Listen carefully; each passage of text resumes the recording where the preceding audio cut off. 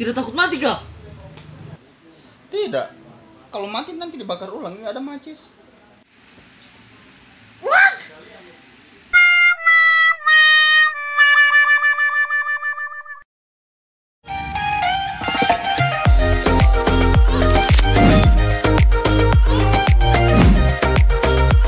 Fica caliente com a Fireirinha.